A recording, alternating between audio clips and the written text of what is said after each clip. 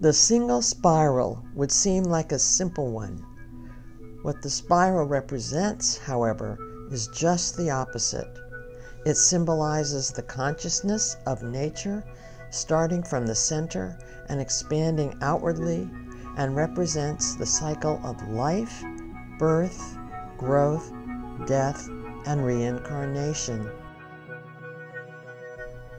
Spiritually, the spiral represents a connectivity with the divine, spiraling from the outer ego, the outside world, to the inner soul, cosmic awareness and enlightenment, representing the evolution and growth of the spirit.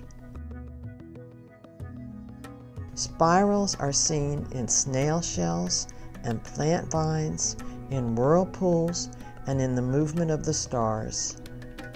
A single spiral symbol is found in art, philosophy, and religion, and in divination, magic, and the occult.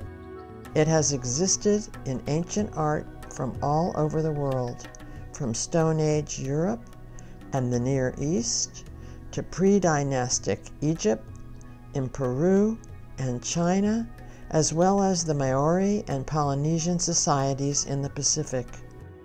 It is believed to be one of the oldest patterns created by humanity. The word spiral comes from the Latin spirare, meaning to breathe.